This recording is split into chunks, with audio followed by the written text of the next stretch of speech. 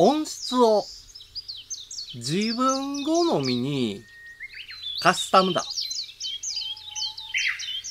プリセットなら知識もいらず。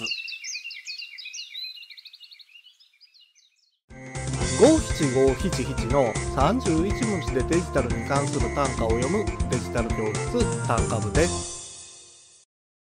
ラジカセやミニコンポ、ウォークマンを使って音楽を聴いていたのは随分と昔のように感じます。今ではスマホやタブレットで、しかもストリーミングで聞くのが当たり前になりました。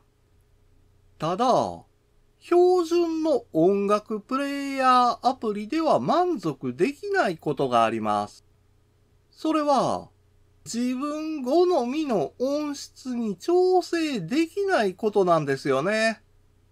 そこで役に立つのが、低音ブースタープロというアプリでしょう。イコライザーで自分好みに音質を調整できるのが嬉しいんです。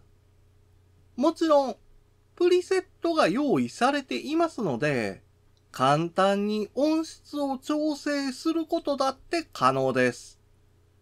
曲調によって音質を調整すれば、同じ楽曲でも雰囲気が変わるんです。今回の単価は画像付きでインスタグラムやツイッターにも投稿しています。また、デジタル教室ではアプリやパソコンの使い方などの情報をウェブサイトや YouTube、ポッドキャストで配信していますので概要欄からアクセスしてみてください。デジタル教室単価部でした。